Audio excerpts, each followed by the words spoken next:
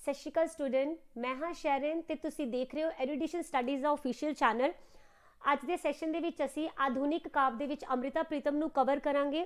ਤੁਹਾਡਾ ਜੋ master cadre ਦਾ 2022 ਦਾ ਐਗਜ਼ਾਮ ਆਇਆ ਹੋਇਆ ਹੈ, ਉਸ ਦੇ ਲਈ ਇਹ ਬਹੁਤ ਹੀ ਜ਼ਿਆਦਾ ਇੰਪੋਰਟੈਂਟ ਰਹੇਗਾ। ਔਰ ਪਿਛਲੇ ਪੇਪਰ ਦੇਖੋਗੇ ਤਾਂ ਅੰਮ੍ਰਿਤਾ ਪ੍ਰੀਤਮ ਦੇ ਬਾਰੇ ਦੇ ਵਿੱਚ ਦੋ ਤੋਂ ਤਿੰਨ ਪ੍ਰਸ਼ਨ ਜ਼ਰੂਰ ਹੀ ਪੁੱਛੇ ਗਏ ਹੈ। ਇਸ ਲਈ ਇਹ ਵਾਲਾ ਸੈਸ਼ਨ ਤੁਸੀਂ ਬਹੁਤ ਜ਼ਿਆਦਾ ਧਿਆਨ ਨਾਲ ਦੇਖਣਾ।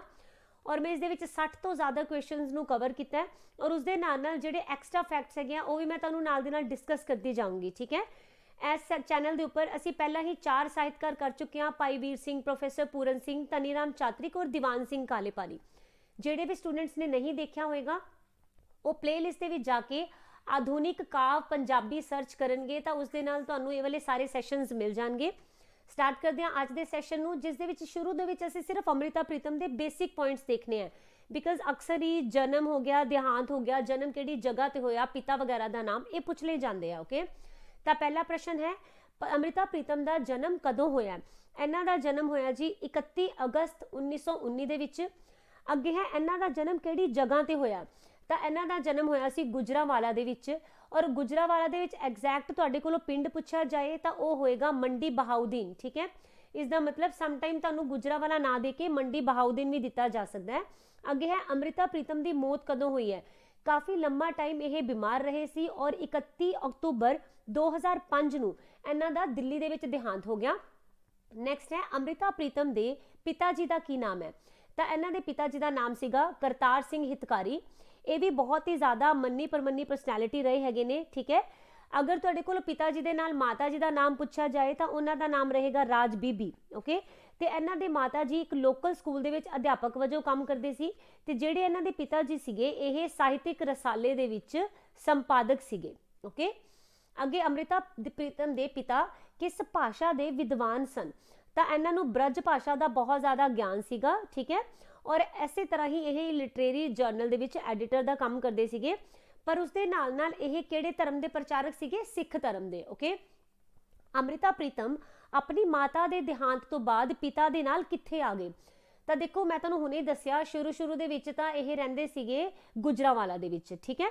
ਤੇ ਬਾਅਦ ਦੇ ਵਿੱਚ ਜਦੋਂ ਇਹ 11 ਸਾਲ ਦੇ ਸੀ, ਇਹਨਾਂ ਦੇ ਮਾਤਾ ਜੀ ਦਾ ਦੇਹਾਂਤ ਹੋ ਗਿਆ, ਠੀਕ ਹੈ?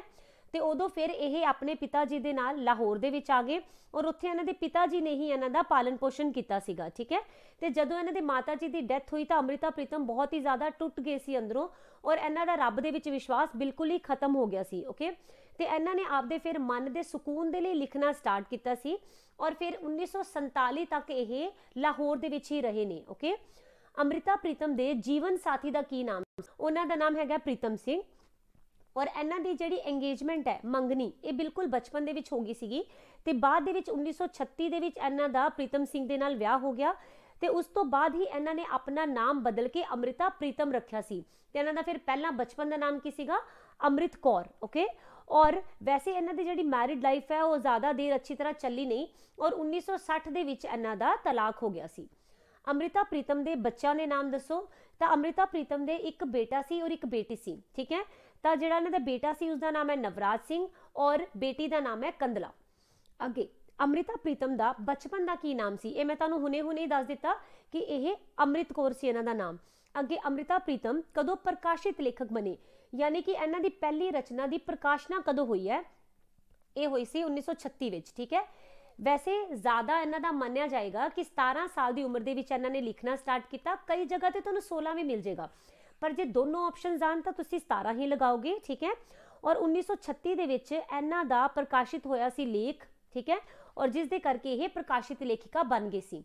ਅਮ੍ਰਿਤਾ ਪ੍ਰੀਤਮ ਦਾ ਪਹਿਲਾ ਕਾਵ ਸੰਗ੍ਰਹਿ ਕਿਹੜਾ ਹੈ?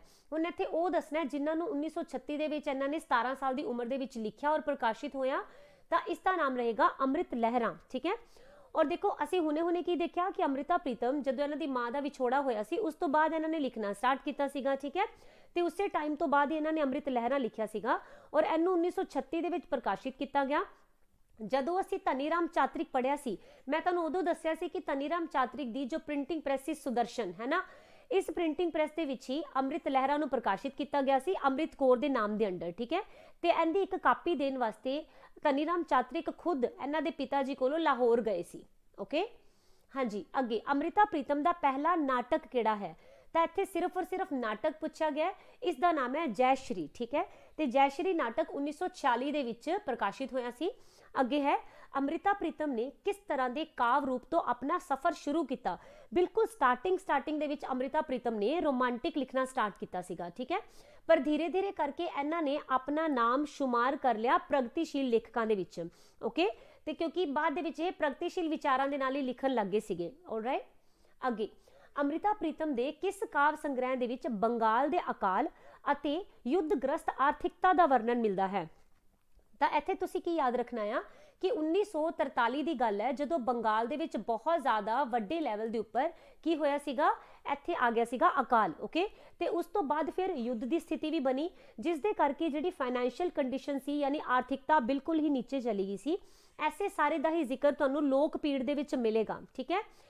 ਅੱਗੇ ਚੱਲਦੇ ਹਾਂ। ਲੋਕ ਪੀੜ ਕਾਵ ਸੰਗ੍ਰਹਿ ਨੂੰ ਕਦੋਂ ਪ੍ਰਕਾਸ਼ਿਤ ਕੀਤਾ ਗਿਆ? ਮੈਂ ਤੁਹਾਨੂੰ ਹੁਣੇ ਦੱਸਿਆ ਕਿ ਬੰਗਾਲ ਦਾ ਅਕਾਲ ਹੋਇਆ 1943 ਦੇ ਵਿੱਚ, ਠੀਕ ਹੈ? ਉਸ ਤੋਂ ਜਸਟ 1 ਸਾਲ ਬਾਅਦ, ਯਾਨੀ 1944 ਦੇ ਵਿੱਚ ਹੀ ਲੋਕ ਪੀੜ ਨੂੰ ਪ੍ਰਕਾਸ਼ਿਤ ਕਰ ਦਿੱਤਾ ਗਿਆ। ਅੱਗੇ ਹੈ, ਅੰਮ੍ਰਿਤਾ ਪ੍ਰੀਤਮ ਨੇ ਕਿਸ ਦੁਆਰਾ ਦਿੱਲੀ ਵਿੱਚ ਪਹਿਲੀ ਜਨਤਾ ਲਾਇਬ੍ਰੇਰੀ ਬਣਾਉਣ ਦਾ ਕਾਰਜ ਦੇ ਵਿੱਚ ਯੋਗਦਾਨ ਪਾਇਆ ਤਾਂ ਦੇਖੋ, ਅੰਮ੍ਰਿਤਾ ਪ੍ਰੀਤਮ ਵਿੱਚੇ ਵਿੱਚੇ ਸੋਸ਼ਲ ਸਰਵਿਸ ਯਾਨੀ ਕਿ ਸਮਾਜਿਕ ਕੰਮ ਵੀ ਕਾਫੀ ਜ਼ਿਆਦਾ ਕਰਦੇ ਰਹਿੰਦੇ ਹੁੰਦੇ ਸੀਗੇ। ਆਜ਼ਾਦੀ ਤੋਂ ਬਾਅਦ ਗੁਰੂ ਰਾਧਾ ਕਿਸ਼ਨ ਜੋ ਹੈ, ਇਹਨਾਂ ਨੇ ਦਿੱਲੀ ਦੇ ਵਿੱਚ ਪਹਿਲੀ ਜਨਤਾ ਲਾਇਬ੍ਰੇਰੀ ਲਿਆਉਣ ਦੀ ਪਹਿਲ ਕਦਮੀ ਕੀਤੀ ਸੀ। ਤੇ ਐਸੇ ਨੇਕ ਕੰਮ ਦੇ ਵਿੱਚ ਅੰਮ੍ਰਿਤਾ ਪ੍ਰੀਤਮ ਨੇ ਪੂਰੇ ਦਿਲ ਤੋਂ ਯੋਗਦਾਨ ਪਾਇਆ ਸੀਗਾ। ਇਸ ਲਾਇਬ੍ਰੇਰੀ ਦਾ ਉਦਘਾਟਨ ਬਲਰਾਜ ਸਾਹਨੀ ਐਂਡ ਅਰੁਣਾ ਆਸਿਫ ਅਲੀ ਨੇ ਕੀਤਾ ਸੀਗਾ, ਠੀਕ ਹੈ? ਔਰ ਇਹ ਜੋ ਲਾਇਬ੍ਰੇਰੀ ਹੈ, ਬਾਅਦ ਦੇ ਵਿੱਚ ਅਧਿਆਪਨ ਦਾ ਕੇਂਦਰ ਵੀ ਬਣ ਗਈ ਸੀ ਅਧਿਐਨ ਦਾ ਸੋਰੀ ਠੀਕ ਹੈ? ਤਾਂ ਐਟ ਪ੍ਰੈਜ਼ੈਂਟ ਇਹ ਅਧਿਐਨ ਕੇਂਦਰ ਕਮ ਲਾਇਬ੍ਰੇਰੀ ਦਿੱਲੀ ਦੇ ਵਿੱਚ ਹਾਲੇ ਵੀ ਕੰਮ ਕਰਦੀ ਹੈ ਓਕੇ ਅੱਗੇ ਹੈ ਅੰਮ੍ਰਿਤਾ ਪ੍ਰੀਤਮ ਨੇ ਆਜ਼ਾਦੀ ਤੋਂ ਬਾਅਦ ਕਿਸ ਰੇਡੀਓ ਸਟੇਸ਼ਨ ਦੇ ਵਿੱਚ ਕੰਮ ਕੀਤਾ? ਜਦੋਂ ਤੁਸੀਂ ਇਹ ਵਾਲਾ ਕੁਐਸਚਨ ਦੇਖੋਗੇ, ਤੁਹਾਨੂੰ ਥੋੜਾ ਬਹੁਤ ਕਨਫਿਊਜ਼ ਕਰ ਸਕਦਾ ਹੈ, ਕਿਉਂਕਿ ਜਦੋਂ ਤੁਸੀਂ ਡਾਇਰੈਕਟ ਇਹਦਾ ਆਨਸਰ ਹੀ ਦੇਖ ਲਓ, ਮੰਨ ਲਓ ਕੁਐਸਚਨ ਧਿਆਨ ਨਾਲ ਨਾ ਪੜੋ ਤਾਂ Lahore radio station and 올 India radio station. ਦੋਨਾਂ ਦੇ ਵਿੱਚ ਹੀ ਅਮ੍ਰਿਤਾ ਪ੍ਰੀਤਮ ਨੇ ਕੰਮ ਕੀਤਾ ਸੀ। ਪਰ ਇਸ ਪਾਰਟਿਕੂਲਰ ਕੁਐਸਚਨ ਦਾ ਆਨਸਰ ਦੋਨੋਂ ਨਹੀਂ ਹੋਏਗਾ। ਇਸ ਦਾ ਆਨਸਰ ਹੋਏਗਾ 올 ਇੰਡੀਆ ਰੇਡੀਓ। ਕਿਉਂ? ਕਿਉਂਕਿ ਇੱਥੇ ਤੁਹਾਡੇ ਕੋਲੋਂ ਪੁੱਛਿਆ ਗਿਆ, ਆਜ਼ਾਦੀ ਤੋਂ ਬਾਅਦ ਕਿਸ ਰੇਡੀਓ ਸਟੇਸ਼ਨ ਦੇ ਵਿੱਚ ਕੰਮ ਕੀਤਾ, ਠੀਕ ਹੈ? ਆਜ਼ਾਦੀ ਤੋਂ ਪਹਿਲਾਂ ਜਦੋਂ ਇਹ ਲਾਹੌਰ ਦੇ ਵਿੱਚ ਰਹਿੰਦੇ ਸੀ, ਉਦੋਂ ਇਹਨਾਂ ਨੇ ਲਾਹੌਰ ਰੇਡੀਓ ਸਟੇਸ਼ਨ ਦੇ ਵਿੱਚ ਵੀ ਕੰਮ ਕੀਤਾ ਸੀ, ਠੀਕ ਹੈ? ਪਰ ਆਜ਼ਾਦੀ ਤੋਂ ਬਾਅਦ ਇਹ ਕਿੱਥੇ ਆ ਗਏ ਸੀਗੇ? ਦਿੱਲੀ ਆ ਗਏ ਸੀ ਰਾਈਟ ਤਾਂ ਉਦੋਂ ਫਿਰ 1961 ਤੱਕ ਇਹ 올 ਇੰਡੀਆ ਰੇਡੀਓ ਦੇ ਵਿੱਚ ਕੰਮ ਕਰਦੇ ਰਹੇ ਹੈ। ਅਮ੍ਰਿਤਾ ਪ੍ਰੀਤਮ ਦੀ ਰਚਨਾ ਵਿੱਚ ਵੰਡ ਦੇ ਸਮੇਂ ਦੇ ਦਰਦ ਅਤੇ ਡਰ ਨੂੰ ਦਿਖਾਇਆ ਗਿਆ। ਇੱਥੇ ਉਸ ਰਚਨਾ ਦਾ ਨਾਮ ਪੁੱਛਿਆ ਗਿਆ, ਠੀਕ ਹੈ? ਇਹਨਾਂ ਦੀ ਬਹੁਤ ਹੀ ਸ਼ਾਹਕਾਰ ਰਚਨਾ ਹੈਗੀ ਹੈ, ਅੱਜ ਆਖਾਂ ਵਾਰਸ ਸ਼ਾਹ ਨੂੰ ਓਕੇ ਇਹਦੇ ਵਿੱਚ ਦਿਖਾਇਆ ਗਿਆ ਹੈ ਕਿ ਆਜ਼ਾਦੀ ਦੇ ਟਾਈਮ ਦੇ ਉੱਪਰ ਕਿੰਨਾ ਦਰਦ ਸੀ ਚਾਰੋਂ ਪਾਸੇ, ਕਿੰਨਾ ਜ਼ਿਆਦਾ ਖੂਨੀ ਜੋ ਮਾਹੌਲ ਹੈ ਉਹ ਦੇਖਣ ਨੂੰ ਮਿਲਿਆ ਸੀਗਾ, ਠੀਕ ਹੈ? ਔਰ ਇਹਨਾਂ ਨੇ ਅਮ੍ਰਿਤਾ ਪ੍ਰੀਤਮ ਨੇ ਇੱਥੇ ਵਾਰਸ ਸ਼ਾਹ ਨੂੰ ਆਵਾਜ਼ ਲਗਾਈ ਹੈ। ਵਾਰਸ ਸ਼ਾਹ ਕੌਣ ਹੈ? ਬਿਲਕੁਲ, ਜਿਨ੍ਹਾਂ ਨੇ ਹੀਰ ਰਾਂਝੇ ਦਾ ਕਿੱਸਾ ਲਿਖਿਆ ਸੀ, ਠੀਕ ਹੈ? ਔਰ ਇਹਨਾਂ ਨੇ ਉੱਥੇ ਬੋਲਿਆ ਸੀ ਕਿ ਹੀਰ ਦੇ ਦਰਦ ਨੂੰ ਉਹਨਾਂ ਨੇ ਆਪਣੇ ਕਿੱਸੇ ਦੇ ਵਿੱਚ ਕਿੰਨੇ ਬਿਊਟੀਫੁਲੀ ਦਿਖਾਇਆ ਹੈ। ਤੇ ਹੁਣ ਇਸ ਟਾਈਮ ਤਾਂ ਇੱਥੇ ਹਜ਼ਾਰਾਂ ਹੀ ਹੀਰਾ ਰੋਂਦੀਆਂ ਪਈਆਂ ਹਜ਼ਾਰਾਂ ਹੀ ਧੀਆਂ ਰੋਂਦੀਆਂ ਪਈਆਂ ਉਹਨਾਂ ਦੇ ਬਾਰੇ ਦੇ ਵਿੱਚ ਵੀ ਕੁਝ ਲਿਖੇ ਓਕੇ ਅੱਗੇ ਹੈ ਅਮ੍ਰਿਤਾ ਪ੍ਰੀਤਮ ਦਾ ਸੰਸਮਰਣ ਕਿਹੜਾ ਹੈ? ਇਹ ਦੋਨੋਂ ਹੀ ਅਮ੍ਰਿਤਾ ਪ੍ਰੀਤਮ ਦੇ ਸੰਸਮਰਨ ਨੇ, ਕਾਲਾ ਗੁਲਾਬ ਔਰ ਕਿਰਮਚੀ ਲਕੀਰਾਂ। ਅਮ੍ਰਿਤਾ ਪ੍ਰੀਤਮ ਦੀ ਰਚਨਾ ਤੇ ਆਧਾਰਿਤ ਕਿਸ ਫਿਲਮ ਦੇ ਉੱਪਰ ਸੌਰੀ ਕਿਸ ਰਚਨਾ ਦੇ ਉੱਪਰ ਫਿਲਮ ਬਣੀ ਹੈ ਮਾਫ ਕਰਨਾ। ਤਾਂ ਦੇਖੋ, ਇਹਦੇ ਵਿੱਚ ਤੁਹਾਨੂੰ ਤਿੰਨ ਨਾਮ ਦਿੱਤੇ ਗਏ ਹੈ ਨਾ ਤਾਂ ਵੈਸੇ ਪਿੰਜਰ ਤਾਂ ਸਭ ਨੂੰ ਹੀ ਪਤਾ ਹੁੰਦਾ ਹੈ, ਇਸ ਲਈ ਉਹ ਤਾਂ ਤੁਸੀਂ ਆਨਸਰ ਕਰ ਹੀ ਦੋਗੇ ਬਟ ਉਸ ਦੇ ਨਾਲ ਨਾਲ ਧਰਤੀ, ਸਾਗਰ ਤੇ ਸਿੱਪੀਆਂ ਔਰ ਉਹਨਾਂ ਦੀ ਕਹਾਣੀ, ਇਹ ਦੋਨੋਂ ਵੀ ਨਾਲ ਦੇ ਨਾਲ ਯਾਦ ਰੱਖ ਲੈਣਾ, ਠੀਕ ਹੈ? ਕਿਉਂਕਿ ਇਹਨਾਂ ਦੇ ਐਨੇ ਜ਼ਿਆਦਾ ਨੋਵਲ ਪ੍ਰਸਿੱਧ ਹੋਏ ਸੀਗੇ ਕਿ ਕਾਫੀ ਸਾਰੇ ਡਾਇਰੈਕਟਰ ਸੀਗੇ ਪ੍ਰੋਡਿਊਸਰ ਸੀ ਜੋ ਕਿ ਇਹਨਾਂ ਦੇ ਉੱਪਰ ਮੂਵੀਜ਼ ਬਣਾਉਣਾ ਚਾਹੁੰਦੇ ਸੀ। ਸਭ ਤੋਂ ਜ਼ਿਆਦਾ ਫੇਮਸ ਫਿਲਮ ਮੈਂ ਬੋਲਿਆ ਤਾਂ ਉਹਨੂੰ ਪਿੰਜਰ ਰਹੀ ਹੈ ਨਾ ਔਰ ਇਹਨੂੰ 2003 ਦੇ ਵਿੱਚ ਰਿਲੀਜ਼ ਕੀਤਾ ਗਿਆ ਸੀਗਾ ਔਰ ਇਹਨੂੰ ਕਈ ਅਵਾਰਡ ਵੀ ਮਿਲੇ। ਜਿਸ ਤਰ੍ਹਾਂ ਕਿ ਇਸ ਨੂੰ Filmfare best art direction ਦਾ ਅਵਾਰਡ ਮਿਲਿਆ। ਇਸ ਦੇ ਨਾਲ ਨਾਲ national film award special jury ਦੇ ਲਈ ਵੀ ਇਹਨਾਂ ਨੂੰ ਪਿੰਜਰ ਦੇ ਲਈ ਹੀ ਮਿਲਿਆ ਸੀ, ਠੀਕ ਹੈ?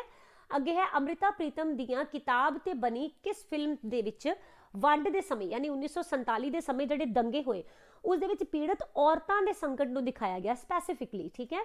ਤਾਂ ਇਹ ਪਿੰਜਰ ਹੀ ਹੈ। ਅਮ੍ਰਿਤਾ ਪ੍ਰੀਤਮ ਦਾ ਜਿਹੜਾ ਨਾਵਲ ਪਿੰਜਰ ਹੈ, ਇਹ ਪ੍ਰਕਾਸ਼ਿਤ ਕਦੋਂ ਹੋਇਆ? ਅਸੀਂ ਮੂਵੀ ਤਾਂ ਦੇਖ ਲਈ ਹੈ ਨਾ ਕਿ 2003 ਦੇ ਵਿੱਚ ਆਈ ਸੀਗੀ।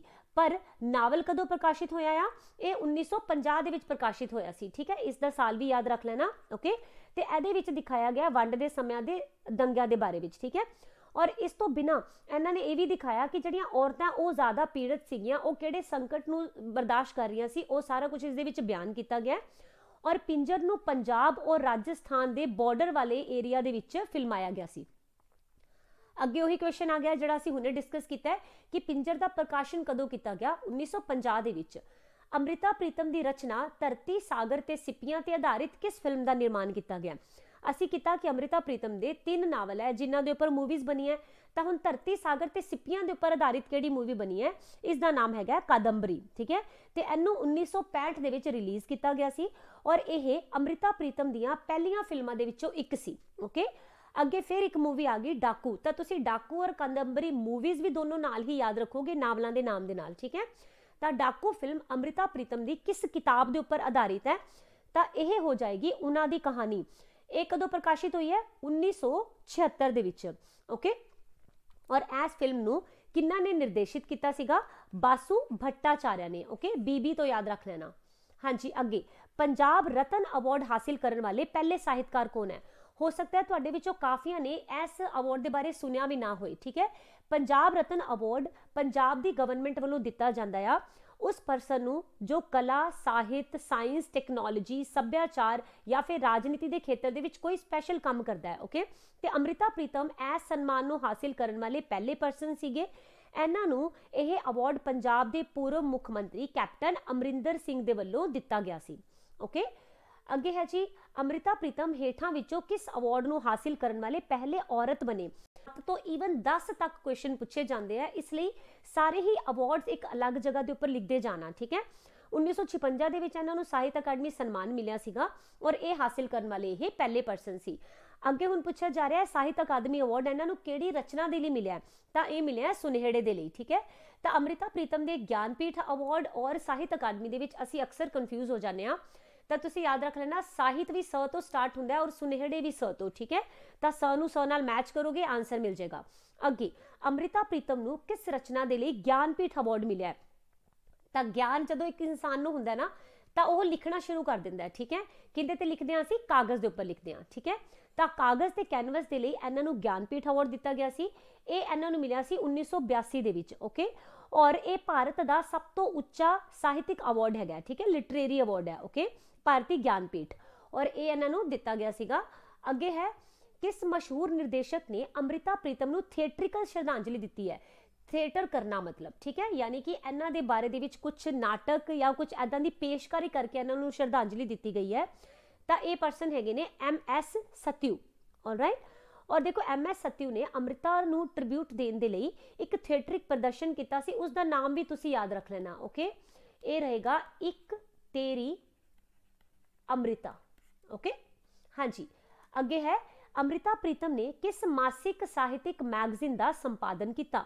ਇਹ ਵੀ ਪ੍ਰਸ਼ਨ ਬਹੁਤ ਵਾਰ ਪੁੱਛਿਆ ਗਿਆ ਔਰ ਅਲੱਗ-ਅਲੱਗ ਤਰੀਕੇ ਦੇ ਨਾਲ। ਤਾਂ ਇਸ ਦੇ ਐਕਸਟਰਾ ਫੈਕਟ ਧਿਆਨ ਨਾਲ ਦੇਖ ਲੈਣਾ। ਪਹਿਲੀ ਗੱਲ ਤਾਂ ਇਹ ਹੈ ਕਿ ਇੱਕ ਮਾਸਿਕ ਸਾਹਿਤਿਕ ਮੈਗਜ਼ੀਨ ਹੈ, ਠੀਕ ਹੈ? ਨਾਮ ਕੀ ਹੈ? ਨਾਗਮਨੀ। ਔਰ ਕਿੰਦੇ ਨਾਲ ਮਿਲ ਕੇ ਚਲਾਇਆ ਤਾਂ ਇਹ ਵੀ ਯਾਦ ਰੱਖ ਲੈਣਾ।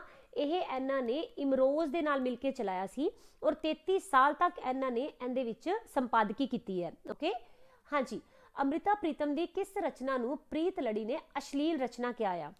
ਤਾਂ ਦੇਖੋ, ਇਹ ਹੈਗੀ ਹੈ ਇਹੀ ਵਾਲੀ ਜਿਵੇਂ ਤੁਸੀਂ ਦੇਖਿਆ ਨਾ ਕਿ ਹੁਣੇ ਹੁਣੇ ਇਹਨਾਂ ਨੇ ਇੱਕ ਮੈਗਜ਼ੀਨ ਚਲਾਈ ਸੀ ਨਾਗਮਨੀ, ਤਾਂ ਨਾਗਮਨੀ ਇਹਨਾਂ ਦੀ ਰਚਨਾ ਵੀ ਹੈ ਓਕੇ ਇਸੇ ਨੂੰ ਹੀ ਪ੍ਰੀਤ ਲੜੀ ਨੇ ਅਸ਼ਲੀਲ ਰਚਨਾ ਬੋਲਿਆ ਸੀਗਾ ਓਕੇ ਇਹਨਾਂ ਵਿੱਚੋਂ ਕਿਹੜੀ ਰਚਨਾ ਅੰਮ੍ਰਿਤਾ ਪ੍ਰੀਤਮ ਦੀ ਹੈ? ਏਕ ਓੰਕਾਰ ਸਤਨਾਮ, ਕਾਲ ਚੇਤਨਾ, ਅਗਿਆਤ ਦਾ ਨਿਮੰਤਰਣ ਅਕਸ਼ਰੋਂ ਕੇ ਸਾਏ ਜਾਂ ਉਪਰੋਕਤ ਸਾਰੇ। ਆਈ ਨੋ ਕਿ ਤੁਸੀਂ ਦੇਖਿਆ ਹੋਵੇਗਾ ਕਿ ਪੰਜ ਹੈਗੇ ਨੇ, ਇਸ ਦਾ ਮਤਲਬ ਉਪਰੋਕਤ ਸਾਰੇ ਆਏਗਾ। ਬਿਲਕੁਲ ਕੁਐਸਚਨ ਦਾ ਆਨਸਰ ਸਹੀ ਹੈ। ਅਸੀਂ ਕੀਤਾ ਕਿ ਸਟਾਰਟਿੰਗ ਸਟਾਰਟਿੰਗ ਦੇ ਵਿੱਚ ਅੰਮ੍ਰਿਤਾ ਰੋਮਾਂਟਿਕ ਲਿਖਦੀ ਹੁੰਦੀ ਸੀ, ਹਨਾ? ਤੇ ਬਾਅਦ ਦੇ ਵਿੱਚ ਨਾ ਇਹਨਾਂ ਨੇ ਓਸ਼ੋ ਦੇ ਵਿਚਾਰਾਂ ਨੂੰ ਸੁਣਨਾ ਸਟਾਰਟ ਕੀਤਾ ਔਰ ਇਹਨਾਂ ਵਿਚਾਰਾਂ ਨੇ ਅੰਮ੍ਰਿਤਾ ਦੇ ਉੱਪਰ ਬਹੁਤ ਹੀ ਜ਼ਿਆਦਾ ਅਸਰ ਪਾਇਆ ਸੀ। ਉਸ ਤੋਂ ਬਾਅਦ ਇਹਨਾਂ ਨੇ ਅਧਿਆਤਮਿਕ ਵਿਸ਼ਿਆਂ ਦੇ ਉੱਪਰ ਵੀ ਲਿਖਣਾ ਸਟਾਰਟ ਕਰਤਾ ਸੀ, ਸੁਪਨਿਆਂ ਦੇ ਉੱਪਰ ਵੀ ਲਿਖਣਾ ਸਟਾਰਟ ਕਰਤਾ ਸੀ, ਠੀਕ ਹੈ? ਤੇ ਇਹ ਜਿਹੜੀਆਂ ਰਚਨਾਵਾਂ ਹੈਗੀਆਂ ਐਦਾਂ ਦੇ ਹੀ ਪੱਖ ਨੂੰ ਸਾਡੇ ਸਾਹਮਣੇ ਪੇਸ਼ ਕਰਦੀਆਂ ਅੰਮ੍ਰਿਤਾ ਦੇ ਇਹਨਾਂ ਵਿੱਚੋਂ ਕਿਹੜੀ ਰਚਨਾ ਅੰਮ੍ਰਿਤਾ ਪ੍ਰੀਤਮ ਦੀ ਸਵੈ ਜੀਵਨੀ ਹੈ? ਹੁਣ ਮੈਨੂੰ ਪਤਾ ਤੁਹਾਡਾ ਡਾਇਰੈਕਟ ਆਨਸਰ ਪਤਾ ਕੀ ਆਏਗਾ? ਰਸੀਦੀ ਟਿਕਟ ਹੈ ਨਾ ਪਰ ਨਹੀਂ, ਇਹ ਤੁਸੀਂ ਯਾਦ ਰੱਖ ਲੈਣਾ ਕਿ ਇਹ ਦੋਨੋਂ ਹੀ ਯਾਨੀ ਕਿ ਰਸੀਦੀ ਟਿਕਟ ਔਰ ਅਕਸ਼ਰੋਂ ਕੇ ਸਾਈ, ਇਹ ਦੋਨੋਂ ਹੀ ਇਹਨਾਂ ਦੀਆਂ ਸਵੈ ਜੀਵਨੀਆਂ ਹੈਗੀਆਂ। ਮੈਂ ਤੁਹਾਨੂੰ ਦੱਸਿਆ ਸੀਗਾ ਕਿ ਹਿੰਦੀ ਦੇ ਵਿੱਚ ਵੀ ਲਿਖਦੇ ਸੀ, ਠੀਕ ਹੈ? ਤੇ ਜਿਹੜੀ ਅਕਸ਼ਰੋਂ ਕੇ ਸਾਈ ਹੈ, ਇਹ ਰਸੀਦੀ ਟਿਕਟ ਦਾ ਦੂਸਰਾ ਸੰਸਕਰਨ ਸੀਗਾ ਓਕੇ ਇਹ ਵੀ ਨਾਲ ਦੇ ਨਾਲ ਹੀ ਯਾਦ ਰੱਖ ਲੈਣਾ। ਇੱਥੇ ਮੈਂ ਲਿਖ ਹੀ ਦਿੱਤਾ ਵੈਸੇ ਕਿ ਅਕਸ਼ਰੋਂ ਕੇ ਸਾਏ ਰਸੀਦੀ ਟਿਕਟ ਦਾ ਦੂਸਰਾ ਭਾਗ ਹੈ ਓਕੇ ਅੱਗੇ ਚੱਲਦੇ ਹਾਂ। ਰਸੀਦੀ ਟਿਕਟ ਦੇ ਮੁੱਖ ਅੰਗ ਕਿਹੜੇ-ਕਿਹੜੇ ਹਨ? ਤਾਂ ਇਹ ਤਿੰਨੋਂ ਹੀ ਰਸੀਦੀ ਟਿਕਟ ਦੇ ਮੁੱਖ ਅੰਗ ਹੈਗੇ ਆ। ਮੈਂ ਤੇ ਮੇਰੇ ਦਾਰ ਜੀ ਅੱਧੀ ਰੋਟੀ ਪੂਰਾ ਚੰਨ ਔਰ ਮੇਰਾ 16ਵਾਂ ਵਰਾ। ਅੱਗੇ ਹੈ, ਰਸੀਦੀ ਟਿਕਟ ਦਾ ਪ੍ਰਕਾਸ਼ਨ ਸਾਲ ਦੱਸੋ। ਕਿਉਂਕਿ ਰਸੀਦੀ ਟਿਕਟ ਬਹੁਤ ਹੀ ਜ਼ਿਆਦਾ ਫੇਮਸ ਹੋਈ ਸੀ, ਤਾਂ ਇਸ ਦੇ ਬਾਰੇ ਦੇ ਵਿੱਚ ਜ਼ਿਆਦਾ ਨੌਲੇਜ ਤੁਹਾਨੂੰ ਹੋਣੀ ਚਾਹੀਦੀ ਹੈ। ਇਸ ਨੂੰ 1976 ਦੇ ਵਿੱਚ ਪ੍ਰਕਾਸ਼ਿਤ ਕੀਤਾ ਗਿਆ। ਅੱਧੀ ਰੋਟੀ ਪੂਰਾ ਚੰਨ ਕਿਸ ਬਾਰੇ ਹੈ? ਤਾਂ ਇਹ ਰਸੀਦੀ ਟਿਕਟ ਦਾ ਇੱਕ ਭਾਗ ਹੈ, ਅਸੀਂ ਹੁਣੇ ਦੇਖਿਆ, ਹੈ ਨਾ? ਤਾਂ ਇਹ ਅਮ੍ਰਿਤਾ ਪ੍ਰੀਤਮ ਔਰ ਇਮਰੋਜ਼ ਦੇ ਬਾਰੇ ਦੇ ਵਿੱਚ ਗੱਲ ਕਰਦੀ ਹੈ, ਠੀਕ ਹੈ? ਇਮਰੋਜ਼ ਦੇ ਨਾਲ ਇਹਨਾਂ ਦਾ ਪ੍ਰੇਮ ਪ੍ਰਸੰਗ ਕਾਫੀ ਦੇਰ ਤੱਕ ਚੱਲਿਆ ਸੀ ਔਰ ਆਪਣੀ ਜ਼ਿੰਦਗੀ ਦੇ ਲਾਸਟ ਟਾਈਮ ਇਹਨਾਂ ਨੇ ਇਮਰੋਜ਼ ਦੇ ਨਾਲ ਹੀ ਬਿਤਾਇਆ ਓਕੇ ਅੱਗੇ ਅਮ੍ਰਿਤਾ ਪ੍ਰੀਤਮ ਨੇ ਕਿਸ ਦੇ ਕਹਿਣ ਤੇ ਆਪਣੀ ਸਵੈ ਜੀਵਨੀ ਦਾ ਨਾਮ ਰਸੀਦੀ ਟਿਕਟ ਰੱਖਿਆ? ਤਾਂ ਇਹ ਸੁਜੈਸ਼ਨ ਇਹਨਾਂ ਨੂੰ ਖੁਸ਼ਵੰਤ ਸਿੰਘ ਨੇ ਦਿੱਤੀ ਸੀ। ਠੀਕ ਹੈ ਜੀ? ਅੱਗੇ ਹੈ, ਅਮ੍ਰਿਤਾ ਪ੍ਰੀਤਮ ਦੀ ਰਸੀਦੀ ਟਿਕਟ ਦਾ ਪਹਿਲਾ ਪ੍ਰਕਾਸ਼ਨ ਕਦੋਂ ਹੋਇਆ ਆ? ਤਾਂ ਇਹ ਪਹਿਲਾ ਪ੍ਰਕਾਸ਼ਨ ਹੋਇਆ ਸੀ 1976 ਦੇ ਵਿੱਚ। ਔਰ ਅਗਰ ਤੁਸੀਂ ਰਸੀਦੀ ਟਿਕਟ ਦੇ ਕੁੱਲ ਸੰਸਕਰਨ ਦੇਖਣੇ ਹੋਣ, ਤਾਂ ਇਹ ਤਿੰਨ ਸੰਸਕਰਨ ਸੀਗੇ। ਠੀਕ ਹੈ? ਤਾਂ ਪਹਿਲਾ ਤਾਂ ਅਸੀਂ ਦੇਖ ਹੀ ਲਿਆ ਕਿ 1976 ਦੇ ਵਿੱਚ ਪ੍ਰਕਾਸ਼ਿਤ ਹੋ ਰਿਹਾ ਹੈ। ਬਾਕੀ 1977 ਔਰ 1981 ਦੇ ਵਿੱਚ ਪ੍ਰਕਾਸ਼ਿਤ ਹੋਏ ਸੀ। ਅੱਗੇ ਦਿੱਲੀ ਦੀਆਂ ਗਲੀਆਂ ਦਾ ਪ੍ਰਕਾਸ਼ਨ ਕਦੋਂ ਹੋਇਆ ਆ? ਤਾਂ ਇਹਦਾ ਪ੍ਰਕਾਸ਼ਨ ਕੀਤਾ ਗਿਆ 1963 ਦੇ ਵਿੱਚ। ਨੈਕਸਟ ਹੈ, ਅਮ੍ਰਿਤਾ ਪ੍ਰੀਤਮ ਨੇ ਸਵੈ ਜੀਵਨੀ ਨੂੰ ਕੀ ਕਿਹਾ? ਜਦੋਂ ਵੀ ਇਹਨਾਂ ਨੇ ਸਵੈ ਜੀਵਨੀ ਲਿਖੀ ਹੈ, ਤਾਂ ਇਹਨਾਂ ਨੇ ਉਸ ਨੂੰ ਬੋਲਿਆ ਸੀ ਯਥਾਰਥ ਤੋਂ ਲੈ ਕੇ ਤੇ ਯਥਾਰਥ ਤੱਕ ਦਾ ਸਫ਼ਰ ਓਕੇ ਇਹਨਾਂ ਦੇ ਵਿੱਚੋਂ ਸਫ਼ਰਨਾਮਾ ਕਿਹੜਾ ਹੈ?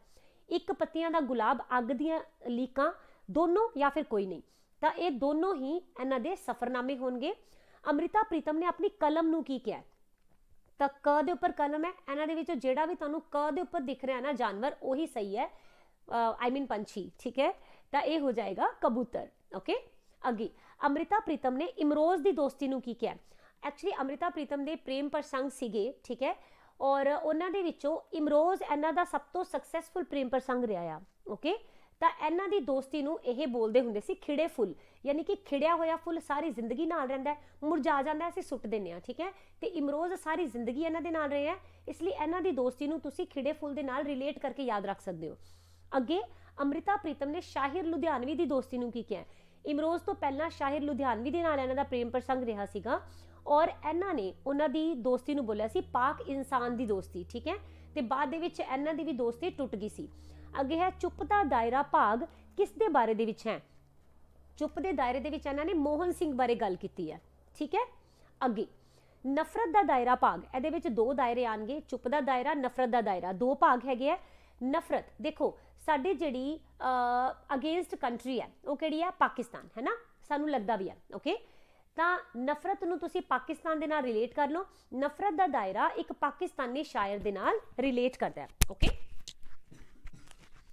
ਨੈਕਸਟ ਕੁਐਸਚਨ ਹੈ ਅਮ੍ਰਿਤਾ ਪ੍ਰੀਤਮ ਨੇ ਸੁਨੇਹੜੇ ਰਚਨਾ ਕਿਸ ਨੂੰ ਪ੍ਰਕਾਸ਼ਿਤ ਕਰਕੇ ਸੌਰੀ ਕਿਸ ਨੂੰ ਸਮਰਪਿਤ ਕਰਕੇ ਲਿਖੀ ਹੈ ਓਕੇ ਤਾਂ ਸੁਨੇੜੇ ਵੈਸੇ ਵੀ ਇੰਪੋਰਟੈਂਟ ਹੈ ਸਾਨੂੰ ਪਤਾ ਹੈ ਹੈਨਾ ਕਿਸ ਲਈ ਕਿਉਂਕਿ ਇਹਦੇ ਲਈ ਇਹਨਾਂ ਨੂੰ ਇੰਨਾ ਇੰਪੋਰਟੈਂਟ ਅਵਾਰਡ ਮਿਲਿਆ ਸੀਗਾ ਸ ਤੇ ਸੁਨੇੜੇ ਹੈ ਸ ਤੇ ਸਾਹਿਤ ਅਕੈਡਮੀ ਅਵਾਰਡ ਹੈ ਔਰ ਸ ਦੇ ਉੱਪਰ ਹੀ ਥੋੜਾ ਜਿਹਾ ਪੈਰ 'ਚ ਬਿੰਦੀ ਹੀ ਪਾਣੀ ਹੈ ਸ਼ਾਹਿਰ ਲੁਧਿਆਣਵੀ ਹੈ ਠੀਕ ਹੈ ਉਹਨਾਂ ਨੂੰ ਸਮਰਪਿਤ ਕਰਕੇ ਇਹਨਾਂ ਨੇ ਲਿਖੀ ਸੀ ਅੱਗੇ ਅਮ੍ਰਿਤਾ ਪ੍ਰੀਤਮ ਨੇ ਸਵੈ ਜੀਵਨੀ ਵਿੱਚ ਕਮਜ਼ੋਰ ਆਦਮੀ ਕਿਸ ਨੂੰ ਕਿਹਾ ਆ ਠੀਕ ਹੈ ਤਾਂ ਇਹ ਵੀ ਇਹਨਾਂ ਨੇ ਮੋਹਨ ਸਿੰਘ ਨੂੰ ਹੀ ਕਿਹਾ ਆ, ਰਸੀਦੀ ਟਿਕਟ ਆਪਣੀ ਸਵੈ ਜੀਵਨੀ ਦੇ ਵਿੱਚ ਓਕੇ ਅਮ੍ਰਿਤਾ ਪ੍ਰੀਤਮ ਦੇ ਸਮਕਾਲੀ ਲੇਖਕਾਂ ਨੂੰ ਉਹ ਕੀ ਬੋਲਦੇ ਸੀਗੇ? ਤਾਂ ਦੋਨੋਂ ਹੀ ਚੀਜ਼ਾਂ, ਇਹ ਬਾਜ਼ ਦੇ ਨਾਲ ਵੀ ਕੰਪੇਅਰ ਕਰਦੇ ਸੀ ਔਰ ਨਾਲ ਦੇ ਨਾਲ ਵੀਰ ਸ਼ਮੀਰ ਦੇ ਨਾਲ ਵੀ ਕੰਪੇਅਰ ਕਰਦੇ ਸੀ ਓਕੇ ਅੱਗੇ, ਕਿਸਨੇ ਅਮ੍ਰਿਤਾ ਪ੍ਰੀਤਮ ਨੂੰ ਕਾਮ ਦੀ ਕੀੜੀ ਕਿਹਾ ਆ? ਤਾਂ ਇਹਨਾਂ ਦੇ ਵਿੱਚੋਂ ਕ ਦੇ ਉੱਪਰ ਕਾਮ ਦੀ ਕੀੜੀ ਹੈ ਤੁਸੀਂ ਦੇਖੋ, ਅਮ੍ਰਿਤਾ ਪ੍ਰੀਤਮ ਜਦੋਂ ਵੀ ਅਸੀਂ ਕਰ ਰਹੇ ਹਾਂ ਨਾ, ਇਹਦੇ ਵਿੱਚ ਕਾਫੀ ਸਾਰੇ ਇਦਾਂ ਦੇ ਕੁਐਸਚਨਸ ਆਣਗੇ ਕਿ ਤੁਹਾਨੂੰ ਵਰਡ ਦੇ ਨਾਲ ਵਰਡ ਮਿਲਾਣਾ ਹੈ ਦੈਟਸ ਇਟ ਆਨਸਰ ਆ ਜਾਏਗਾ, ਠੀਕ ਹੈ? ਤਾਂ ਕ ਦੇ ਉੱਪਰ ਕਾਮ ਦੀ ਕੀੜੀ ਹੈ? ਕ ਤੇ ਕਿਰਪਾਲ ਸਿੰਘ ਹੈ। ਇਹ ਛੋਟੀਆਂ ਛੋਟੀਆਂ ਟ੍ਰਿਕਸ ਹੈ, ਪਰ ਜਦੋਂ ਤੁਸੀਂ ਪੇਪਰ ਕਰੋਗੇ ਨਾ, ਤੁਹਾਨੂੰ ਉੱਥੇ ਡੈਫੀਨਿਟਲੀ ਇਹ ਕੰਮ ਆਣਗੇ ਔਰ ਉਦੋਂ ਸਮਝ ਆਏਗਾ ਕਿ ਗੱਲ ਤਾਂ ਇੱਕ ਲਾਈਨ ਦੀ ਹੁੰਦੀ ਸੀਗੀ ਬਟ ਉਹਨੇ ਘਟੋ ਘਟ ਸਾਨੂੰ 2-3 ਨੰਬਰ ਦਿਲਵਾ ਦਿੱਤੇ। ਓਕੇ ਅੱਗੇ ਹੈ ਕਿਸ ਨੇ? ਅਮ੍ਰਿਤਾ ਪ੍ਰੀਤਮ ਨੂੰ ਪੰਜਾਬ ਦੀ ਆਵਾਜ਼ ਕਿਹਾ। ਤਾਂ ਅਸੀਂ ਹੁਣੇ ਦੇਖਿਆ ਸੀ, ਅਮ੍ਰਿਤਾ ਪ੍ਰੀਤਮ ਦੀ ਬਹੁਤ ਹੀ ਸ਼ਾਹਕਾਰ ਰਚਨਾ ਸੀ ਜਿਸ ਦਾ ਨਾਮ ਸੀ ਅੱਜ ਅੱਖਾਂ ਵਾਰਸ ਸ਼ਾਹ ਨੂੰ, ਠੀਕ ਹੈ? ਇਹਨੂੰ ਨਾ ਪ੍ਰਿੰਸੀਪਲ ਤੇਜਾ ਸਿੰਘ ਨੇ ਪੜਿਆ ਔਰ ਇੰਨੇ ਜ਼ਿਆਦਾ ਪ੍ਰਭਾਵਿਤ ਹੋਏ ਕਿ ਇਹਨੂੰ ਪੜਨ ਤੋਂ ਬਾਅਦ ਇਹਨਾਂ ਨੇ ਅਮ੍ਰਿਤਾ ਪ੍ਰੀਤਮ ਨੂੰ ਪੰਜਾਬ ਦੀ ਆਵਾਜ਼ ਦਾ ਨਾਮ ਦਿੱਤਾ ਸੀ ਓਕੇ ਕਿਸ ਨੇ ਅਮ੍ਰਿਤਾ ਪ੍ਰੀਤਮ ਨੂੰ ਪੰਜਾਬ ਦੀ ਬੁਲਬੁਲ ਕਿਹਾ ਆ? ਤਾਂ ਬੁਲਬੁਲ ਜਦੋਂ ਗਾਉਂਦੀ ਹੈ ਤਾਂ ਸਾਡਾ ਦਿਲ ਜਿੱਤ ਲੈਂਦੀ ਹੈ, ਹਨਾ? ਜੀਤ ਸਿੰਘ ਸੀਤ ਜਾਂ ਫਿਰ ਸਾਡੇ ਦਿਲ ਨੂੰ ਠੰਡਕ ਮਿਲਦੀ ਹੈ ਉਹਦੀ ਆਵਾਜ਼ ਸੁਣ ਕੇ। ਤਾਂ ਜੀਤ ਸਿੰਘ ਸੀਤ ਸੀਤ ਮਿਲਦੀ ਹੈ, ਸੀਤ ਯਾਨੀ ਕਿ ਠੰਡਕ ਓਕੇ ਪੰਜਾਬ ਦੀ ਬੁਲਬੁਲ ਕਿਹਾ ਉਹਨਾਂ ਨੇ। ਅੱਗੇ ਕਿੰਨਾ ਸਨਮਾਨਾਂ ਨੂੰ ਅਮ੍ਰਿਤਾ ਪ੍ਰੀਤਮ ਨੇ ਹਾਸਿਲ ਕੀਤਾ, ਜਿਹੜੇ ਤੁਹਾਨੂੰ ਨੀਚੇ ਦਿੱਤੇ ਗਏ ਆ। ਤਾਂ ਇਹ ਤਿੰਨੋਂ ਦੇ ਤਿੰਨੋਂ ਸਨਮਾਨ ਹੀ ਇਹਨਾਂ ਨੂੰ ਮਿਲੇ ਸੀ ਔਰ ਤਿੰਨੋਂ ਹੀ ਪੇਪਰਾਂ ਦੇ ਵਿੱਚ ਆਲਰੇਡੀ ਪੁੱਛੇ ਜਾ ਚੁੱਕੇ ਨੇ, ਠੀਕ ਹੈ? ਤਾਂ ਅਮ੍ਰਿਤਾ ਪ੍ਰੀਤਮ ਨੂੰ ਪਦਮ ਸ਼੍ਰੀ ਜੋ ਅਵਾਰਡ ਹੈ, ਇਹ 1969 ਦੇ ਵਿੱਚ ਦਿੱਤਾ ਗਿਆ ਸੀਗਾ। ਫਿਰ ਇਹਨਾਂ ਨੂੰ ਇੰਡੀਆ ਦਾ ਦੂਸਰੇ ਨੰਬਰ ਦਾ ਹਾਈਐਸਟ ਸਿਵਿਲੀਅਨ ਅਵਾਰਡ ਦਿੱਤਾ ਗਿਆ, ਕਿਹੜਾ? ਪਦਮ ਵਿਭੂਸ਼ਣ, ਠੀਕ ਹੈ? ਤੇ ਨਾਲ ਹੀ ਇਹਨਾਂ ਨੂੰ ਸਾਹਿਤ ਅਕਾਦਮੀ ਦੀ ਫੈਲੋਸ਼ਿਪ ਵੀ ਦਿੱਤੀ ਗਈ ਸੀ। ਅੱਗੇ ਹੈ, ਪ੍ਰੀਤਮ ਨੂੰ ਭਾਸ਼ਾ ਵਿਭਾਗ ਵੱਲੋਂ ਸ਼੍ਰੋਮਣੀ ਸਾਹਿਤਕਾਰ ਦਾ ਅਵਾਰਡ ਕਦੋਂ ਦਿੱਤਾ ਗਿਆ? ਤਾਂ ਅੰਮ੍ਰਿਤਾ ਪ੍ਰੀਤਮ ਨੂੰ ਇਹ ਅਵਾਰਡ ਦਿੱਤਾ ਗਿਆ ਸੀ 1957 ਦੇ ਵਿੱਚ। ਅੰਮ੍ਰਿਤਾ ਪ੍ਰੀਤਮ ਨੂੰ ਸ਼ਤਾਬਦੀ ਸਨਮਾਨ ਕਦੋਂ ਦਿੱਤਾ ਗਿਆ? ਸ਼ਤਾਬਦੀ ਯਾਨੀ ਕਿ ਸੈਂਚਰੀ ਪੂਰੀ ਹੋਣੀ ਚਾਹੀਦੀ ਹੈ। ਤੁਸੀਂ ਨਾ ਆਪਸ਼ਨਸ ਦੇਖੋ। ਇਹਨਾਂ ਵਿੱਚੋਂ ਸੈਂਚਰੀ ਦਿਖ ਹੀ ਇੱਕੋ ਰਹੀ ਹੈ। ਕਿਹੜੀ ਜੀ? 2000 ਠੀਕ ਹੈ? ਤਾਂ 2000 ਦੇ ਵਿੱਚ ਇਹਨਾਂ ਨੂੰ ਸ਼ਤਾਬਦੀ ਸਨਮਾਨ ਮਿਲਿਆ ਆ। ਕਿਸ ਯੂਨੀਵਰਸਿਟੀ ਨੇ ਅੰਮ੍ਰਿਤਾ ਪ੍ਰੀਤਮ ਨੂੰ ਡੀ ਡੀਲਿਟ ਦੀ ਡਿਗਰੀ ਦਿੱਤੀ ਹੈ? ਤਾਂ ਅੰਮ੍ਰਿਤਾ ਪ੍ਰੀਤਮ ਨੂੰ ਇੱਕ ਦੋ ਨਹੀਂ, ਬਲਕਿ ਤਿੰਨ ਤਿੰਨ ਯੂਨੀਵਰਸਿਟੀਆਂ ਨੇ ਡੀ ਡੀਲਿਟ ਦੀ ਡਿਗਰੀ ਦਿੱਤੀ ਸੀਗੀ, ਠੀਕ ਹੈ? ਦਿੱਲੀ ਯੂਨੀਵਰਸਿਟੀ ਦੀ ਗੱਲ ਕਰੀਏ ਔਰ ਜਬਲਪੁਰ ਯੂਨੀਵਰਸਿਟੀ। ਇਹਨਾਂ ਦੋਨਾਂ ਨੇ ਹੀ 1973 ਦੇ ਵਿੱਚ ਇਹਨਾਂ ਨੂੰ ਡਿਗਰੀ ਦਿੱਤੀ ਹੈ ਔਰ ਵਿਸ਼ਵ ਭਾਰਤੀ ਨੇ ਇਹਨਾਂ ਨੂੰ 1987 ਦੇ ਵਿੱਚ ਇਹ ਡਿਗਰੀ ਪ੍ਰਦਾਨ ਕੀਤੀ ਸੀ। ਅੱਗੇ, ਅੰਮ੍ਰਿਤਾ ਪ੍ਰੀਤਮ ਨੂੰ ਕਿੰਨਾ ਦੇਸ਼ਾਂ ਵੱਲੋਂ ਅੰਤਰਰਾਸ਼ਟਰੀ ਅਵਾਰਡ ਦੇ ਨਾਲ ਸਨਮਾਨਿਤ ਕੀਤਾ ਗਿਆ? ਤਾਂ ਅੰਮ੍ਰਿਤਾ ਪ੍ਰੀਤਮ ਨੂੰ ਬੁਲਗੇਰੀਆ ਨੇ ਔਰ ਫਰਾਂਸ ਨੇ। ਦੋਨਾਂ ਨੇ ਹੀ ਅਵਾਰਡ ਦਿੱਤੇ ਹੈ, ਤਾਂ ਇਸ ਕੁਐਸਚਨ ਦਾ ਆਨਸਰ ਹੋ ਜਾਏਗਾ ਦੋਨੋਂ ਓਕੇ ਕਿਉਂਕਿ ਅਸੀਂ ਦੇਖਿਆ ਹੈ ਕਿ ਇੰਟਰਨੈਸ਼ਨਲ ਲੈਵਲ ਦੇ ਉੱਪਰ ਅੰਮ੍ਰਿਤਾ ਪ੍ਰੀਤਮ ਨੇ ਕਾਫੀ ਜ਼ਿਆਦਾ ਨਾਮ ਕਮਾਇਆ, ਸਿਰਫ ਇੰਡੀਆ ਦੇ ਵਿੱਚ ਹੀ ਨਹੀਂ, ਹੈ ਨਾ? ਇਸ ਕਰਕੇ ਅੰਤਰਰਾਸ਼ਟਰੀ ਭਾਸ਼ਾਵਾਂ ਦੇ ਵਿੱਚ ਵੀ ਇਹਨਾਂ ਦੀਆਂ ਜਿੰਨੀਆਂ ਵੀ ਲਿਖਤਾਂ ਹੈਗੀਆਂ, ਉਹਨਾਂ ਨੂੰ ਟਰਾਂਸਲੇਟ ਵੀ ਕੀਤਾ ਗਿਆ ਓਕੇ ਔਰ ਇਹਨਾਂ ਦੇ ਇਹਨਾਂ ਕੰਮਾਂ ਤੋਂ ਪ੍ਰਭਾਵਿਤ ਹੋ ਕੇ ਬੁਲਗੇਰੀਆ ਨੇ ਇਹਨਾਂ ਨੂੰ ਅਵਾਰਡ ਦਿੱਤਾ ਸੀਗਾ, ਜਿਸ ਦਾ ਨਾਮ ਹੈ ਵੈਪਸਰੋਵ ਓਕੇ ਔਰ ਜੋ ਫਰਾਂਸ ਹੈ, ਉਹਨਾਂ ਨੇ ਵੀ ਆਪਣਾ ਬਹੁਤ ਹੀ ਹਾਈਐਸਟ ਸਿਵਿਲੀਅਨ ਅਵਾਰਡ ਦਿੱਤਾ Ordre des Arts et des Lettres ਇਸ ਦੇ ਵਿੱਚੋਂ ਸਿਰਫ ਤੁਸੀਂ ਆਰਟਸ ਔਰ ਲੈਟਰਸ ਇਹ ਦੋ ਚੀਜ਼ਾਂ ਉਠਾ ਲਓ ਲੈਟਰਸ ਮਤਲਬ ਅੱਖਰ ਠੀਕ ਹੈ ਯਾਨੀ ਕਿ ਕਵਿਤਾਵਾਂ ਲਿਖਣਾ ਵਗੈਰਾ ਅੱਖਰਕਾਰ ਤਾਂ ਇਹ ਹੋ ਗਿਆ ਅਮ੍ਰਿਤਾ ਪ੍ਰੀਤਮ ਆਰਟ ਵੈਸੇ ਲਿਟਰੇਚਰ ਨੂੰ ਅਸੀਂ ਇੱਕ ਆਰਟ ਹੀ ਮੰਨਦੇ ਆ ਠੀਕ ਹੈ ਰਾਈਟਿੰਗ ਨੂੰ ਤਾਂ ਇਹ ਦੋਨੋਂ ਸਿਰਫ ਅਵਾਰਡ ਉਠਾ ਲੋਗੇ ਤਾਂ ਤੁਹਾਨੂੰ ਯਾਦ ਹੋ ਜਾਏਗਾ ਵੈਸੇ ਵੀ ਤੁਹਾਡੇ ਕੋਲੋਂ ਜ਼ਿਆਦਾਤਰ ਪੁੱਛਿਆ ਜਾਂਦਾ ਹੈ ਕਿ ਕਿਹੜੀ ਕੰਟਰੀ ਨੇ ਅਵਾਰਡ ਦਿੱਤੇ ਆ ਤਾਂ ਇਹ ਦੋਨੋਂ ਹੀ ਕੰਟਰੀ ਯਾਦ ਰੱਖ ਲੈਣਾ ਬੀ ਐਂਡ ਐਫ ਯਾਨੀ ਕਿ ਬੁਲਗੇਰੀਆ ਐਂਡ ਫਰਾਂਸ ਓਕੇ ਅੱਗੇ ਹੈ ਅਮ੍ਰਿਤਾ ਪ੍ਰੀਤਮ ਨੂੰ ਕਿਸ ਸਦਨ ਦੇ ਵਿੱਚ ਨਾਮਾਂਕਿਤ ਕੀਤਾ ਗਿਆ? ਓਕੇ ਜਦੋਂ ਮੈਂ ਹੁਣੇ ਬੀ ਓਰ ਐਫ ਬੋਲਿਆ, ਤਾਂ ਮੇਰੇ ਮਾਈਂਡ ਦੇ ਵਿੱਚ ਇੱਕ ਸੈਕਿੰਡ ਦੇ ਵਿੱਚ trick I. That is boyfriend ਠੀਕ ਹੈ? ਤਾਂ ਅਮ੍ਰਿਤਾ ਪ੍ਰੀਤਮ ਜੀ ਦੇ ਬॉयਫ੍ਰੈਂਡਸ ਰਹੇ ਆ ਓਕੇ ਤਾਂ ਬੀ ਤੋਂ ਬॉय ਐਫ ਤੋਂ ਫ੍ਰੈਂਡ ਬੀ ਤੋਂ ਬੁਲਗੇਰੀਆ ਐਫ ਤੋਂ ਫ੍ਰਾਂਸ ਇਸ ਤਰ੍ਹਾਂ ਯਾਦ ਰੱਖ ਲੈਣਾ, ਠੀਕ ਹੈ? ਓਕੇ ਅੱਗੇ ਚੱਲਦੇ ਆ ਅਮ੍ਰਿਤਾ ਪ੍ਰੀਤਮ ਨੂੰ ਕਿਸ ਸਦਨ ਦੇ ਵਿੱਚ ਨਾਮਾਂਕਿਤ ਕੀਤਾ ਗਿਆ? ਤਾਂ ਅਮ੍ਰਿਤਾ ਪ੍ਰੀਤਮ ਨੂੰ ਰਾਜ ਸਭਾ ਦੇ ਵਿੱਚ ਨਾਮਾਂਕਿਤ ਕੀਤਾ ਗਿਆ ਸੀਗਾ। ਇਹ ਤੁਹਾਡੇ ਕੋਲ ਪੁੱਛਿਆ ਜਾ ਸਕਦਾ ਹੈ ਕਿ ਕਿਸ ਟਾਈਮ ਦੇ ਲਈ, ਠੀਕ ਹੈ? ਤਾਂ ਦੇਖੋ, ਨਾਮਾਂਕਿਤ ਤਾਂ ਇਹਨਾਂ ਨੂੰ 1986 ਵਿੱਚ ਕੀਤਾ ਗਿਆ, ਪਰ ਕਦੋਂ ਤੱਕ? 1986 ਤੋਂ ਲੈ ਕੇ 1992 ਤੱਕ ਦੇ ਟਾਈਮ ਦੇ ਲਈ ਇਹਨਾਂ ਨੂੰ ਨੋਮੀਨੇਟ ਕੀਤਾ ਗਿਆ ਸੀ। ਅਮ੍ਰਿਤਾ ਪ੍ਰੀਤਮ ਨੂੰ ਲਾਈਫ ਟਾਈਮ ਅਚੀਵਮੈਂਟ ਅਵਾਰਡ ਕਦੋਂ ਦਿੱਤਾ ਗਿਆ? ਤਾਂ ਅਸੀਂ ਹੁਣੇ ਕੀਤਾ ਕਿ ਇਹਨਾਂ ਨੂੰ ਨਾ ਸੈਂਚਰੀ ਅਵਾਰਡ ਦਿੱਤਾ ਗਿਆ ਸੀ 2000 ਵਿੱਚ, ਹੈ ਨਾ? ਹੁਣ ਇਹਨਾਂ ਨੂੰ ਲਾਈਫ ਟਾਈਮ ਅਚੀਵਮੈਂਟ ਅਵਾਰਡ ਦੇਣਾ ਪੂਰੀ ਜ਼ਿੰਦਗੀ ਦਾ। ਇਸ ਦੇ ਲਈ ਫਿਰ ਐਸ ਅਵਾਰਡ ਦੇ ਲਈ ਕੁਝ ਟਾਈਮ, ਯਾਨੀ ਕਿ 2 ਸਾਲ ਦੇ ਲਈ ਸੋਚਿਆ ਗਿਆ ਔਰ 2002 ਦੇ ਵਿੱਚ ਆ ਕੇ ਇਹਨਾਂ ਨੂੰ ਲਾਈਫ ਟਾਈਮ ਅਚੀਵਮੈਂਟ ਅਵਾਰਡ ਮਿਲ ਗਿਆ ਓਕੇ ਇਹਨਾਂ ਦੇ ਅੰਤਿਮ ਸਮੇਂ ਤੇ ਨੇੜੇ ਇਹਨਾਂ ਨੂੰ ਕਿਸ ਅਕਾਦਮੀ ਵੱਲੋਂ ਸਨਮਾਨਿਤ ਕੀਤਾ ਗਿਆ? ਤਾਂ ਅਮ੍ਰਿਤਾ ਪ੍ਰੀਤਮ ਦੀ ਜਦੋਂ ਡੈਥ ਹੋਣ ਵਾਲੀ ਸੀ, ਠੀਕ ਹੈ? ਤਾਂ ਉਸ ਟਾਈਮ ਦੇ ਉੱਪਰ ਜੋ ਪਾਕਿਸਤਾਨ ਦੀ ਪੰਜਾਬੀ ਅਕਾਦਮੀ ਹੈ ਉਹਨਾਂ ਨੇ ਇਹਨਾਂ ਨੂੰ ਸਨਮਾਨਿਤ ਕੀਤਾ ਸੀਗਾ, ਠੀਕ ਹੈ?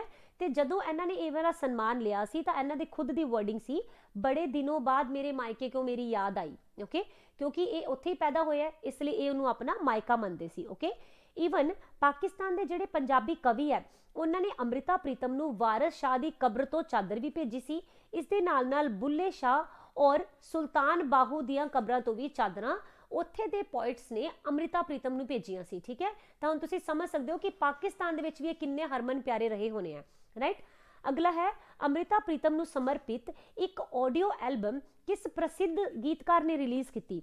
ਇਹ ਵੀ ਬਹੁਤ ਹੀ ਜ਼ਿਆਦਾ ਇੰਪੋਰਟੈਂਟ ਕੁਐਸਚਨ ਹੈ, ਠੀਕ ਹੈ? ਔਰ ਗੀਤਕਾਰ ਵੀ ਇੰਨੇ ਜ਼ਿਆਦਾ ਪ੍ਰਸਿੱਧ ਨੇ, ਗੁਲਜ਼ਾਰ ਨੇ ਓਕੇ ਕਦੋਂ ਜੀ? 2007 ਦੇ ਵਿੱਚ ਇਹ ਗੀਤਕਾਰ ਜੋ ਹੈਗੇ ਨੇ ਗੁਲਜ਼ਾਰ, ਇਹਨਾਂ ਨੇ ਅੰਮ੍ਰਿਤਾ ਪ੍ਰੀਤਮ ਨੂੰ ਸਮਰਪਿਤ ਕਰਕੇ ਨਾ ਇੱਕ ਐਲਬਮ ਨਿਕਾਲੀ ਸੀ। ਔਰ ਉਸ ਐਲਬਮ ਦਾ ਨਾਮ ਕੀ ਰੱਖਿਆ ਗਿਆ? Amrita recited by Gulzar. Okay ਔਰ ਇਹਦੇ ਵਿੱਚ ਗੁਲਜ਼ਾਰ ਨੇ ਅੰਮ੍ਰਿਤਾ ਪ੍ਰੀਤਮ ਦੀਆਂ ਕਵਿਤਾਵਾਂ ਨੂੰ ਗਾਇਆ ਸੀ। ਓਕੇ ਅਗਲਾ ਹੈ ਜੀ, ਅੰਮ੍ਰਿਤਾ ਪ੍ਰੀਤਮ ਨੇ ਸਜਾਦ ਦੇ ਨਾਲ ਦੋਸਤੀ ਨੂੰ ਕੀ ਕਿਹਾ? ਤਾਂ ਇਹਨਾਂ ਨੇ ਸਜਾਦ ਦੇ ਨਾਲ ਸ ਦੇ ਉੱਪਰ ਸਜਾਦ ਹੈ ਅਗੇਨ ਸ ਦੇ ਉੱਪਰ ਸਬਬ ਦਾ ਮੇਲ ਹੈ। ਓਕੇ ਸਬਬ ਦਾ ਮੇਲ ਬੋਲਿਆ ਸੀ। ਅੰਮ੍ਰਿਤਾ ਪ੍ਰੀਤਮ ਨੇ ਸ਼ਾਇਰ ਲੁਧਿਆਣੀ ਦੇ ਨਾਲ ਦੋਸਤੀ ਨੂੰ ਕੀ ਕਿਹਾ ਆ? ਓਕੇ ਹੁਣ ਸਾਡੇ ਕੋਲ ਰਹਿ ਹੀ ਇੱਕੋ ਗਿਆ। ਔਰ ਦੂਸਰੀ ਚੀਜ਼, ਦੇਖੋ ਜਿਹੜੇ ਸ਼ਾਇਰ ਲੁਧਿਆਣਵੀ ਸੀ ਨਾ, ਉਹਨਾਂ ਦੇ ਜੋ ਧਰਮ ਦੇ ਕਰਕੇ ਹੀ ਇਹਨਾਂ ਦਾ ਜੋ ਮੇਲ ਹੈ ਪ੍ਰੋਪਰ ਨਹੀਂ ਹੋ ਪਾਇਆ, ਠੀਕ ਹੈ? ਚਾਹੇ ਤੁਸੀਂ ਕਈ ਜਗ੍ਹਾ ਤੇ ਕੁਝ ਹੋਰ ਵੀ ਪੜ ਸਕਦੇ ਹੋ ਓਕੇ ਤਾਂ ਫਿਰ ਉਹਨੂੰ ਤੁਸੀਂ ਉਹਦੇ ਨਾਲ ਰਿਲੇਟ ਕਰੋ, ਮਜ਼ਹਬ ਨਾਲ, ਠੀਕ ਹੈ? ਤਾਂ ਇਹ ਹੋ ਜਾਏਗਾ ਮਜ਼ਹਬੀ ਰੰਗਨ ਓਕੇ ਤਾਂ ਇੱਥੇ ਅਸੀਂ 63 ਕੁਐਸਚਨਸ ਕਰ ਲਿਆ ਹੁਣ ਅੱਗੇ ਮੈਂ ਤੁਹਾਨੂੰ ਲਿਸਟ ਦਿੱਤੀ ਹੋਈ ਹੈ ਇਹਨਾਂ ਦੇ ਨਾਵਲਾਂ ਦੀ ਸਵੈ ਜੀਵਨੀਆਂ ਦੀ, ਛੋਟੀਆਂ ਕਹਾਣੀਆਂ ਦੀ ਔਰ ਕਾਵ ਸੰਗ੍ਰਹਿ ਦੀ, ਠੀਕ ਹੈ? ਤਾਂ ਇੱਕ ਵਾਰ ਮੈਂ ਜਸਟ ਤੁਹਾਨੂੰ ਨਜ਼ਰ ਮਰਵਾ ਦਿੰਨੀ ਆ ਬਾਅਦ ਦੇ ਵਿੱਚ ਤੁਸੀਂ ਇਹਨਾਂ ਸਾਰਿਆਂ ਨੂੰ ਜ਼ਰੂਰ ਯਾਦ ਰੱਖਣਾ ਹੈ, ਠੀਕ ਹੈ? ਤਾਂ ਨਾਵਲ ਦੇ ਵਿੱਚ ਜ਼ਿਆਦਾ ਇੰਪੋਰਟੈਂਟ ਕਿਹੜਾ ਹੋਏਗਾ? ਪਿੰਜਰ, ਕਿਉਂਕਿ ਇਸ ਦੇ ਉੱਪਰ ਕੀ ਬਣੀ ਹੈ ਜੀ? ਮੂਵੀ ਬਣੀ ਹੈ, ਠੀਕ ਹੈ? ਉਸ ਤੋਂ ਬਾਅਦ ਡਾਕਟਰ ਦੇਵ, ਕੋਰੇ ਕਾਗਜ਼ 49 ਦਿਨ, ਧਰਤੀ, ਸਾਗਰ ਤੇ ਸਿੱਪੀਆਂ, ਇਹ ਵੀ ਉਹੀ ਹੈ ਜਿਸ ਦੇ ਉੱਪਰ ਮੂਵੀ ਬਣੀ ਹੈ, ਠੀਕ ਹੈ? ਦੈਨ ਰੰਗ ਦਾ ਪੱਤਾ, ਦਿੱਲੀ ਦੀਆਂ ਗਲੀਆਂ 13ਵਾਂ ਸੂਰਜ, ਯਾਤਰੀ, ਜ਼ਿਲ੍ਹਾ ਵਤਨ, ਹਰਦਤ ਦਾ Zindaginama black rose, Rasidi ticket shadows of words ਠੀਕ ਹੈ? ਤਾਂ ਇਹ ਜਿਹੜਾ ਰਸੀਦੀ ਟਿਕਟ ਹੈ, ਇਹ ਕੀ ਇਹਨਾਂ ਦੀ? ਸਵੈ ਜੀਵਨੀ ਹੈ, ਠੀਕ ਹੈ? ਔਰ ਸ਼ੈਡੋਜ਼ ਆਫ ਵਰਡ ਯਾਨੀ ਕਿ ਅਕਸ਼ਰੋਂ ਕੇ ਸਾਈ, ਇਹ ਵੀ ਕੀ ਇਹਨਾਂ ਦੀ? ਸਵੈ ਜੀਵਨੀ ਹੈ ਓਕੇ ਠੀਕ ਹੈ, ਅੱਗੇ ਚੱਲਦੇ ਹਾਂ। ਅੱਛਾ, ਤੀਸਰੀ ਜਿਹੜੀ ਬਲੈਕ ਰੋਜ਼ ਹੈ, ਉਹ ਵੀ ਇਹਨਾਂ ਦੀ ਸਵੈ ਜੀਵਨੀ ਹੀ ਹੈ ਓਕੇ ਤੁਸੀਂ ਚਾਹੇ ਇੱਕ ਨਾਮ ਪੜਿਆ ਹੋਏਗਾ, ਪਰ ਤੁਸੀਂ ਤਿੰਨੋਂ ਹੀ ਯਾਦ ਰੱਖ ਲੈਣਾ। ਇਹਨਾਂ ਨੂੰ ਤੁਸੀਂ ਕਿੱਦਾਂ ਯਾਦ ਰੱਖੋਗੇ? ਅੰਮ੍ਰਿਤਾ ਪ੍ਰੀਤਮ ਆਪਣੇ ਨਾਂ ਲਾਈਕ ਤੁਸੀਂ ਕਹਿ ਸਕਦੇ ਹੋ ਹਸਬੰਡ ਨੂੰ ਮਿਲਣ ਦੇ ਲਈ ਜਾ ਰਹੇ ਹੈ ਉਹਨਾਂ ਨੂੰ ਫਸਟ ਟਾਈਮ ਇਹਨਾਂ ਨੇ ਆਪਣੇ ਪਿਆਰ ਦਾ ਇਜ਼ਹਾਰ ਕਰਨਾ ਹੈ, ਠੀਕ ਹੈ? ਇਹ ਸਿਰਫ ਯਾਦ ਕਰਨ ਦੇ ਲਈ ਹੈ ਓਕੇ ਇਹਨਾਂ ਨੇ ਕੀ ਕੀਤਾ? ਟਿਕਟ ਖਰੀਦੀ ਪਹਿਲਾਂ ਟ੍ਰੇਨ ਦੀ, ਠੀਕ ਹੈ? ਔਰ ਉੱਥੇ ਬੈਠ ਕੇ ਇਹਨਾਂ ਨੂੰ ਲੱਗਿਆ ਕਿ ਨਹੀਂ, ਮੈਂ ਜਾ ਕੇ ਬੋਲ ਨਹੀਂ ਸਕਦੀ, ਮੈਨੂੰ ਲਿਖਣਾ ਚਾਹੀਦਾ ਹੁਣ ਲਿਖਣ ਦੇ ਲਈ ਕੀ ਪ੍ਰੋਬਲਮ ਸੀ? ਇਹਨਾਂ ਦੇ ਕੋਲ ਕੁਝ ਹੈਗਾ ਨਹੀਂ ਸੀ। ਇਹਨਾਂ ਨੇ ਉਸ ਟਿਕਟ ਦੇ ਉੱਪਰ ਹੀ ਆਪਣੇ ਸਾਰੇ ਵਰਡਸ ਲਿਖਣੇ ਸ਼ੁਰੂ ਕਰਤੇ, ਆਪਣੇ ਦਿਲ ਦੇ ਅਕਸ਼ਰੋਂ ਕੇ ਸਾਈ ਹਨਾ? ਯਾਨੀ ਕਿ ਸਾਰੇ ਅਕਸ਼ਰ ਇਹਨਾਂ ਨੇ ਉੱਥੇ ਲਿਖਾ, ਲਿਖ ਦਿੱਤੇ। ਔਰ ਫਿਰ ਇਹਨਾਂ ਨੇ ਸੋਚਿਆ ਕਿ ਚਲੋ ਇਹ ਕੰਮ ਤਾਂ ਹੋ ਗਿਆ, ਹੁਣ ਮੈਂ ਉਹਨਾਂ ਨੂੰ ਰੋਜ਼ ਵੀ ਦੇਵਾਂ, ਠੀਕ ਹੈ? ਪਰ ਇਹਨਾਂ ਨੇ ਕਿਹਾ ਰੈੱਡ ਰੋਜ਼ ਤਾਂ ਸਾਰੇ ਦਿੰਦੇ ਆ ਬਟ ਆਈ ਐਮ ਅੰਮ੍ਰਿਤਾ ਹੈ ਨਾ? ਤਾਂ I will do something different ਤਾਂ ਇਹਨਾਂ ਨੇ ਫਿਰ ਉਹਨਾਂ ਨੂੰ ਬਲੈਕ ਰੋਜ਼ ਖਰੀਦਿਆ ਉਹਨਾਂ ਦੇ ਲਈ ਓਕੇ ਐਦਾਂ ਕਰਕੇ ਤਿੰਨੋਂ ਹੀ ਸਵੈ ਜੀਵਨੀਆਂ ਨੂੰ ਤੁਸੀਂ ਯਾਦ ਰੱਖ ਸਕਦੇ ਹੋ।